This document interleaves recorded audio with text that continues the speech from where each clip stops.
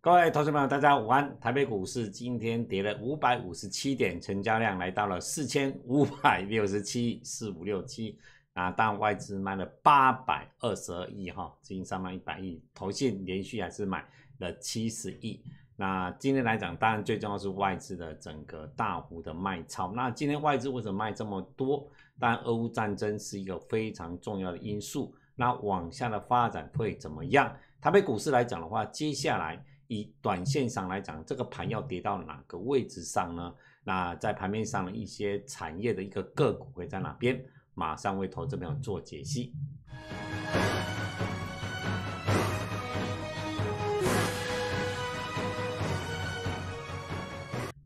好，我们先看一下台北股市哈。台北股市来讲，今天跌五百五十七点哈。在这段期间，我会跟各位投资报告，你持股不要太多。但是也真的不能没有持股了，因为正是还是有股票在涨，好，但是呢，系统风险来讲还是存在的哈，还是存在的。那俄乌战事这一块来讲的话，最近来讲已经演变上有什么状况？以我个人的观点，等一下马上跟各位报告。那我们先看现行哈，以台北股市今天跌五五百五十七点，哦，那整个现行来上看的话呢？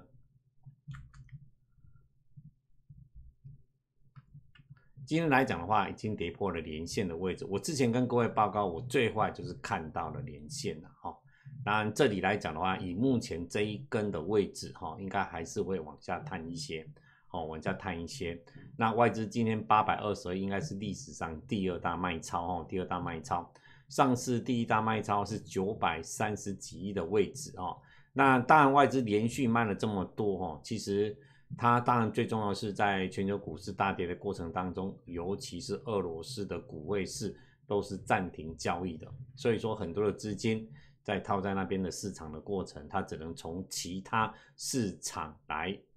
来抽取资金哦。所以说最近台北股市在跌的过程当中，这个是一个非常重要的因素。那今天来讲会跌这么多，当然就是政府基金、国内的法人、国内中实户在这段期间，你看到外资。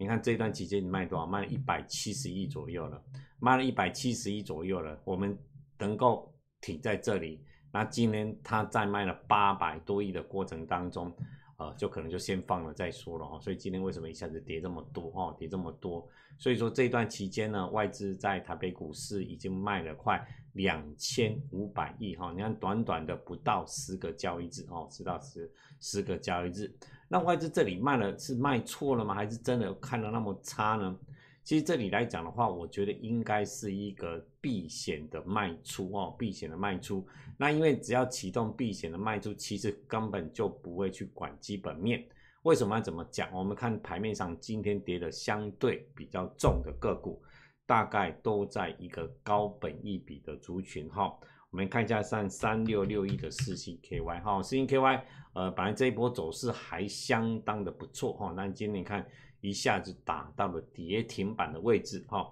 那等跌停板来讲的话，你看今天呢一开低就往下杀，但最重要是去年赚二十一块了，今年法人估它会有三十块左右，那你三十块来讲的话，你像一千一百块的话，本一比也高达了三十三倍哈，个三十三倍，所以这种个股来讲的话。从今天下跌来讲的话，这种个股未来还是有修正的空间。另外，你看哦，像 A B L 的族群，今天来讲，你看蓝电哈，之前不是蓝电讲的非常好吗？其实法人来看蓝电也是相当不错哈。那今年 E B S 大概估到二十块左右。那目前看的话呢，你可以看得出来，蓝电来讲的话，呃，其实它明年估到二十到二十三块到二十五块都有人估了估了哦。所以这这次你看到它在跌，你可以看得出来都是在修正本一比啦。哦，都是三零三七的星星啊，你看三零三七的星星，你看今天跌到两百二十，我这里两百三十七还两百两百四十块卖掉了嘛？那你看这里马上就一根就这样子跌下来，哦，跌下来，你看三零三五的智远哦，三百块卖了嘛，对不对？虽然还要涨上去了，但是你看后面的结果。还是这个，因为大盘的修正，哦，它就跌一些。不过今天还算是现行来讲，还算是蛮抗跌的。哦，那三一八九的锦硕，哦，你看这些个股哦，锦锦硕今天又是破线，哦，所以这种所谓的高本益比的族群，哈，高本益比的族群，那像六四一五的 CDKY，你看今天破底了，哦，破底。然后像六五六八的励志哈，之前哈啊六宏观呐，宏观这种个股来讲，原则上真的是本益比非常的高了哈，本益比非常的高，所以这种个股来讲的话，你就真的来讲就先避开再说哈，避开再说。那今天来讲的话，整体的目前整个盘面上来讲，但外资它卖什么？哦，什么就跌了哈，尤其你看二三零三的台积电，好，你你二三零三的台积电，我上礼拜五的节目二三三零，好，二三三零台积电，我说这里来讲台积电呢，已经昨天上个礼拜五破跳空破连线了哈，所以这里来讲技术面来讲，真的是要先避开再说，好，避开再说。那这里呢，当然外资还是它一个重大的一个卖超啦，它不知道卖到什么时候，哦，所以这里来讲台积电来讲。目前看俄乌战事来讲的话，我们先看一下俄乌战事哈，你可以比较了解说这一波为什么今天来讲跌这么多哈。我上个礼拜本来是说这里来讲应该是短线好季线跟半年线做整理，但是想不到来讲呢，今天量就直接增加，直接往年线去踹掉了哈。当然俄乌战争来讲的话，目前我说普丁不会退了，这才是重点哈，普丁不会退。那这里来讲的话，我们看一下最近哦。西方加大资源，战事复杂化了，好，已经战事已经复杂化。所谓的复杂化，就是说，其实我上个礼拜我也跟各位报告，这就都是美国设的局啊。当然，乌克兰跟俄罗斯既然走进去了，那这个局来讲的话，就什么时候要能够结束，应该没有那么快了哈。那整体来讲的话，普丁是不会退的啊，不会退。那普丁不会退的过程当中，乌克兰目前来讲的话，其实，在抗俄罗斯的军队来讲，也是蛮积极，所以这个过程呢，接下来应该是走一个可能是越南模式的这种比较长线的一个战争了，哦，长线的一个战争。哦，那这里来讲，会不会到最后，我跟各位报告，就是说，这里等整个普京来讲到真的受不了的话，然后大家都在经济制裁我，会导致的小型的核战，哦，小型的核战。如果说这个事情发生，我说股市还会再跌。还会再跌哦，所以这里来讲的话，其实目前俄乌战事来讲的话，已经这个不确定性已经拉长了哈。这个拉长的过程当中，就变成一个焦灼了哦。这个焦灼，那但西方国家来讲的话，它一直哦就是用一个俄罗斯侵略乌克兰的观点，但是就俄罗斯它本身普京的观点，只是你强把我的兄弟拉出去呀，然后造成我的前面来讲的话，造成我这个俄罗斯的。整个家园的危险，哦，所以立场是各自不一样的。那西方国家来讲的话，一直在增加金援，或是说提供武游击队这些武器来讲的话，其实最后来讲，俄罗斯会不会受不了？等他整个国力真的受不了，他最后一搏的话，有可能发生了小型核战，哦，所以这里呢，你变成说全球的经济会因为这些事情来讲的话，其实衰退的幅度会产生，会产生。IMF 已经提出警告，好，所以说这里你说目前股市在跌，跌的就是未来整个全球经济的一个衰退。当然有人讲说俄罗斯其实就整体来讲，但全球经济的范畴并不会很大哈，尤其是在除了原物料以外哈。但是呢，其实你看到很多国家像三星哦，像我们台湾的台积电，其实都很多的终端产品，连消费性的产品。连莲花科，我说莲花科真的是蛮无聊的哈啊，干嘛说一定要跟人家去跟进？他这样做就不要去喊那么大声，结果呢喊的他那股价也是跌得一塌糊涂。哦，你看那个莲花科来讲的话呢，这目前呢股价你看二四五是莲花科，谈他自己股价来讲的话也是跟着在跌哦，就跟着在跌哦。你说当然外资提款也是提款啦，但是呢你说业绩这样。一喊呢，你看大家就跟着跌了嘛。所以说，你说以目前看的话，你说真的本益比低的话，真的低很多。讲实话，目前看出来也是没什么用哈，没什么用哦。所以这里来讲的话呢，投资朋友你要看一下，说在这一次来讲的话呢，俄乌战争的整个复杂化已经开始对全球的股市造成了标比较深的影响了。那这个大盘呢，以今天来讲的话，已经跌破了所谓的月线了，对不对？那如果说以跌破月线来讲的话呢，我说为什么看一万六千七？我最主要是看我们看一下道琼工业指数哈，以道琼工业指数来计算来看的话哈，其实我们台北股市在这一波算是相对的抗跌，所以现在的补跌来讲的话，不代表说以目前弱势，以目前的跌来讲的话，我们看一下道琼哈，你可以看到道琼其实来讲的话，已经慢慢已经有点低点有已经过的味道，有没有？你看到它现在一底比一底高了哦。上个礼拜我虽然跌，但是拉了长下下影线哦，拉了长下影线。那目前来讲，当然还在均线之下。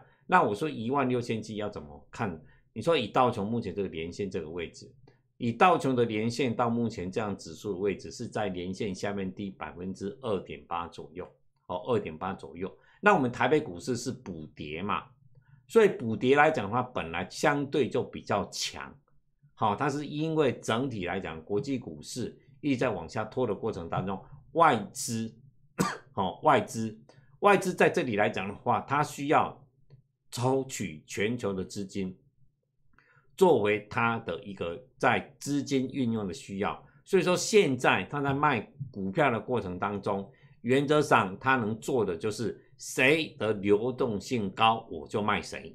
谁好卖，我就卖谁。我根本就不会管说，原则上它的本呃基本面会在哪边哦，基本会在哪边。所以你看，为什么台积电第一个被他掏钱的就台积电嘛？然后呢，莲花科也是嘛。那今天我讲货柜三雄，大概也是他掏钱的一个对象哦。你看他今天三十三万张，你看外资一定也卖了很多哦，卖了很多。那这里来讲的话，当然你说在这个现行的过程当中，你看阳明五日线。长荣十日线还是没有被跌破嘛？哦，还是没有被跌破嘛？所以这里来讲的话，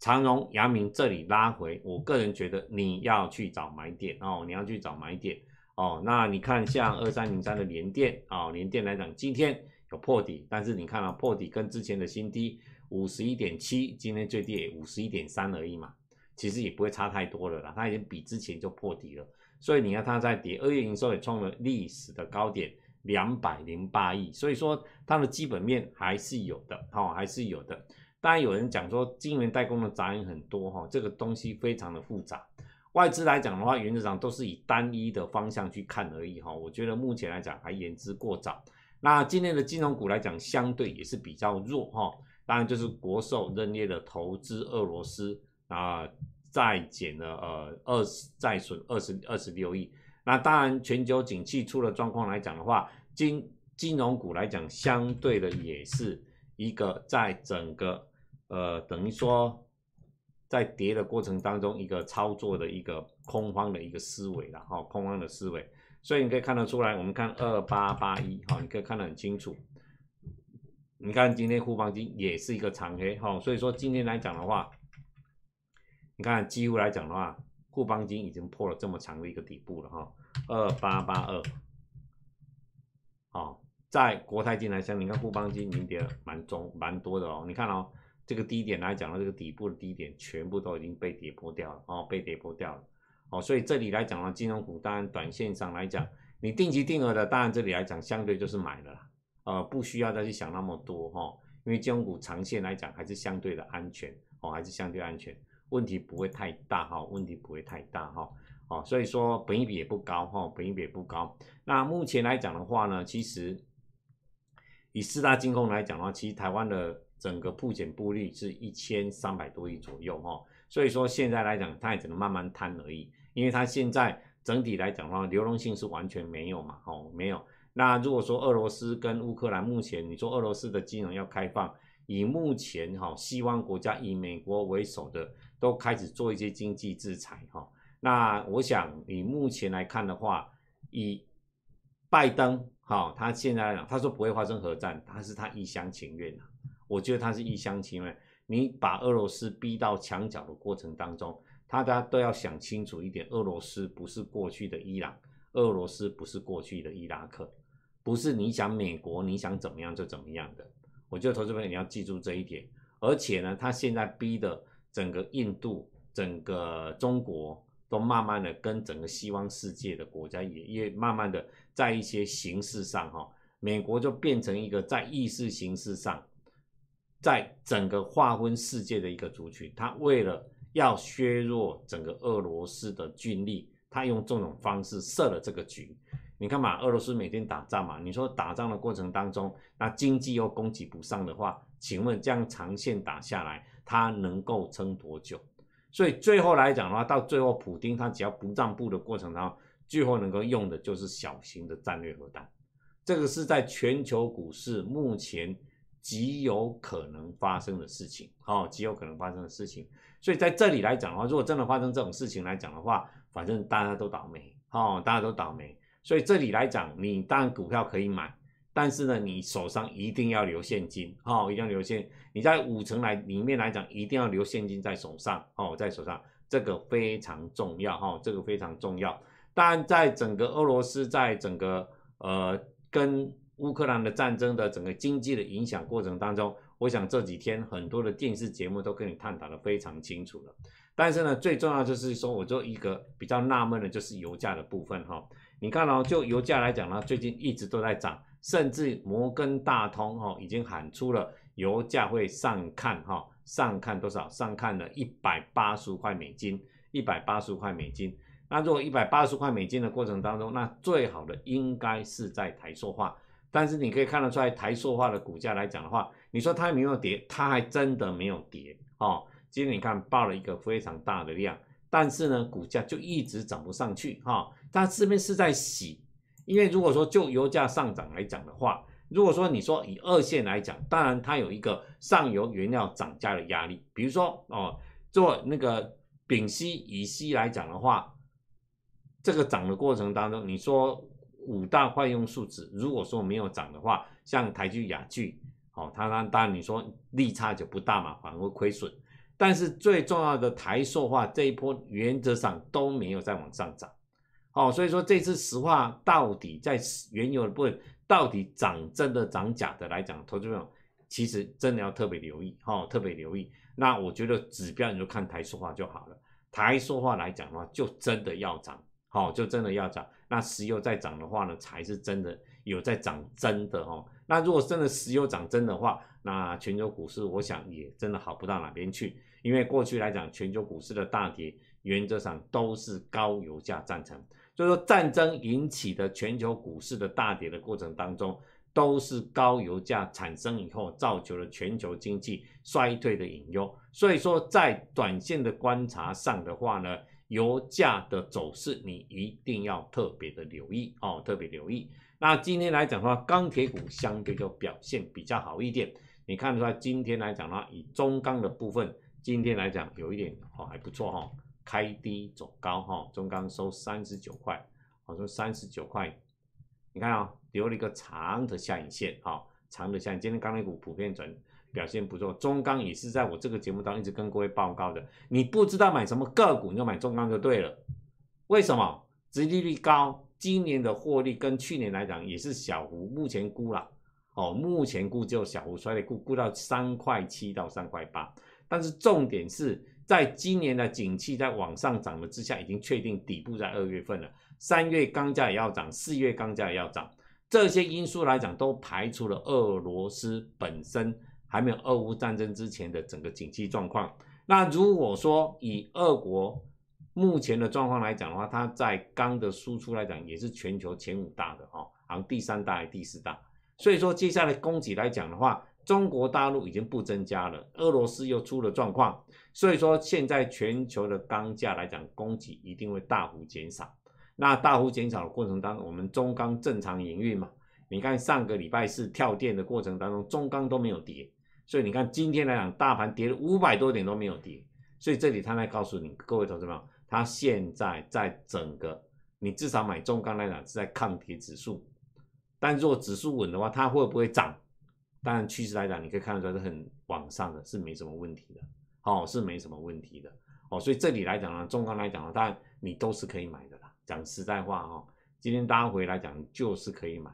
哦，就是说你真的买股个股来讲。讲实在话，你现在握现金也没有用啊。你虽然一些个股来讲，你跌没有跌到，但是股票还是有一些个股很顺利的在涨。那货柜三雄的部分也是你这一波拉回你要特别留意的。我们看一下啊，以货柜三雄来讲呢，有几个重要的因素哈。第一个就是货柜为运呃附加会其开始在喊涨，上月大概因为你知道综合运运综合那个附加会最重要是油价的上涨嘛。那油价涨的话，我当然还是跟你涨，上个礼拜五的 SCFI 的指数来讲呢，是涨了，呃，是美系线还是涨，整体上跌了百分之二左右，已经来到四千六百多点，哦，四千六百多点。但是呢，在三月份来讲的话，很多的像中国附加会要开始往上涨，然后运价来讲的话，在美西线来讲呢，有人估计到年底已经会从四十尺的呃木一万多涨到三万多，哈，一万多涨到三万多。那另外来讲的话，财报的部分你可以看得出来，今年的长荣、阳明跟万海大概六七十、六十五、七十都已经有人法人已经估出来了。那殖利率来讲的话，大概都相对的都在百分之十。当然，万海来讲相对比较低，哈，相对比较低。那长荣呢？万海大概是三月十五号，长荣来讲要开法说嘛，好，那整体来讲现金殖利率，所以说你可以看得出来，以货柜来讲的话。应该是目前台北股市最便宜的股票，你去想嘛，第一个，呃，殖利率，你说中钢才八趴，好，你看望海也有八趴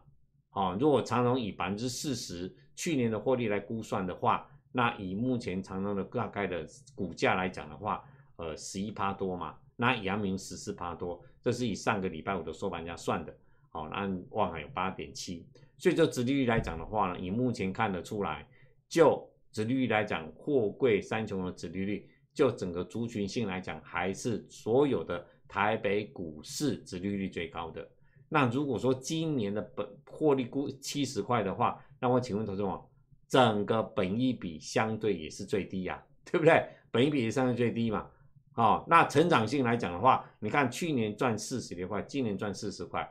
七十块，那请问有没有成长性？有嘛？所以说台北股市来讲，以目前来讲，货柜三雄是最便宜的。那如果我连货柜三都涨不上去的话，那台北股市真的是真的只有一句话，就是跌，好往下跌的路而已哈。所以这里来讲的话，以今天的技术线型来讲，呃，目前看呢，以长荣来讲的话，跌到了跌破五日线，目前还在十日线之上，好。这一波十日线是个非常重要的指标，但是你可以看到二六零九的阳明，今天虽然一个大黑 K 八，但是呢，整体来讲的话，还是在十五日线之上，哈，五日线之上。所以说呢，其实当然你说长荣涨不上去，阳明也不可能涨啊，好，所以说这里来讲的话，阳明长荣来讲，以目前在十日线跟五日线的位置来讲，都是。非常好的介入点哦，非常好的介入点。那至于望海来讲的话，就看个人喜好哦。以目前来讲，望海真的相对是比较弱。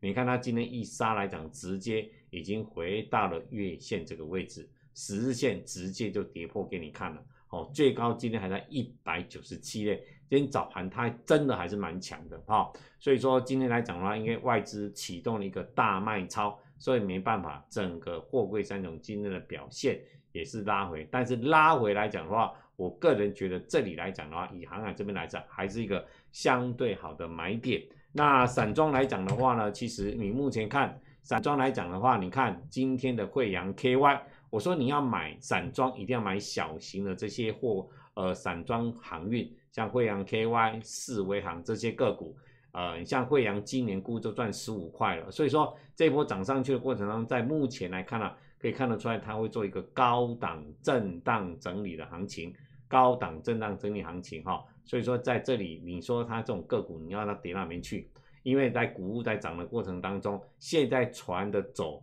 整个航线来讲，要增加五到十天，好，所以说这对这些呃租船去运的公司来讲，绝对是一个。基本面的利多哈，基本面的利多哦，所以航运股来讲，在散装来讲的话，你就留一下小型的航运、小型的散装的哈，小型的散装。当然，铁矿砂，如果说钢铁股能涨的话，哦，铁矿砂当然还是有机会啦。好，那有机会来讲的话，像海峡型的这个股还是有机会。所以说，你看航运的族群来讲的话，不管是货柜，不管是散装来讲的话，就整个线型、就题材性来讲。就基本面来讲的话，目前来讲是谈盘面的非常重要一个重点。另外，航空股的部分，航空股来讲，今年当然相对就比较弱哈。以长荣航空来讲，二六一八来讲，今天在上次的高点三十块三都跌破，而且今天也跌破了整个月线，所以接下来投资者要留意一下整个季线哈，季线那季线来讲，我个人这的的看法是，这里是要能够撑得住的，哈，能够撑得住。因为就今年来讲的话，从获利来讲，长荣今年的获，长荣航空今年获利两块半到三块是有的。那接下来啊，解封行情，我想都还没开始的。股价上一波炒这一块来讲，就是在炒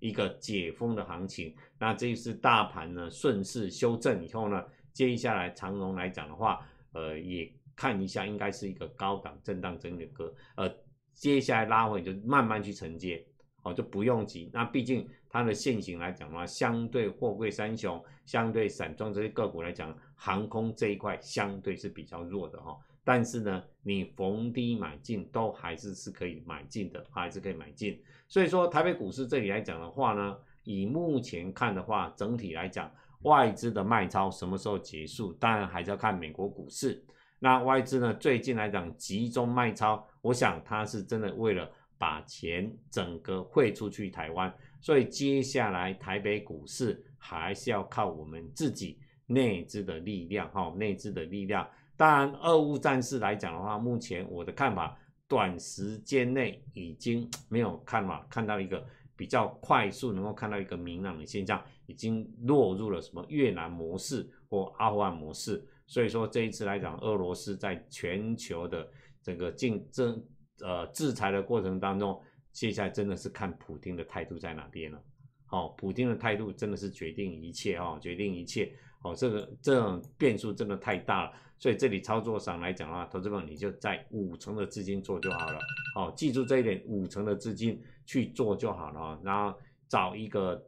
船产，就是航运跟钢铁去做布局。哈，航运跟钢铁去做布局。好，那我们在今天我们上传了博智、永丰金、三鹿化工、富彩。富彩其实跌到这里，投资者有的话真的不需要杀低了啦。好，虽然股价也是相对的弱。蓝电、巨阳跟美利达哈，这个像富彩来讲的话，跌到这里来讲的话，我觉得是有点超跌的啦。但是这一波来讲，因为之前涨得太多哦，股筹码比较凌乱一点哈，筹码比较凌乱一点哦，所以这里来讲，你要买的真的也不用急。好，那富彩其实今年以法人的估计，大概是赚四块钱左右，本来不五块钱的，因为它。去年第四季的财报公布以后，整个法人的获利就马上给它下修了哈，所以这里来讲，整个趋势当然还没结束。你想买的不用急，但是你有的哈杀低到这里来讲的话，我觉得都已经有点超跌的一个现象哈，超跌的现象